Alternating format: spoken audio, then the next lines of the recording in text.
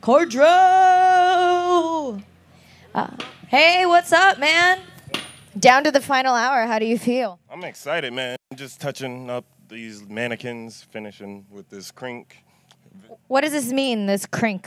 Um, well, Krink is a less viscous um, paint. It flows really well, and I wanted to get like um, the drips over the words and basically saying that you can art over social issues, basically. I mean, you are you, regardless of what other people say. You're yourself. That's one fact.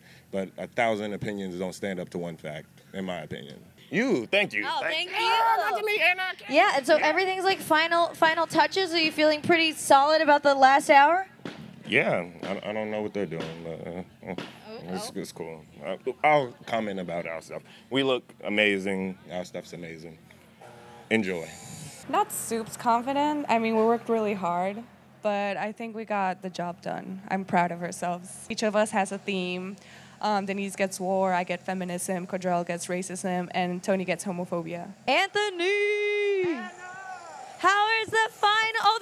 sparks there. How's the final hour? It's Going good. it looks insane. I have no idea. This crew has been amazing. Our team came together and we really rocked out like 5,000 hours worth of work in 11 hours. So I'm really proud of us. We got this. I mean, now it's just the finishing touches, making sure everything is good, and field day, and then we can sit back and get the win. We're about to roll out the red carpet, which is the best part about West Coast and the glamour.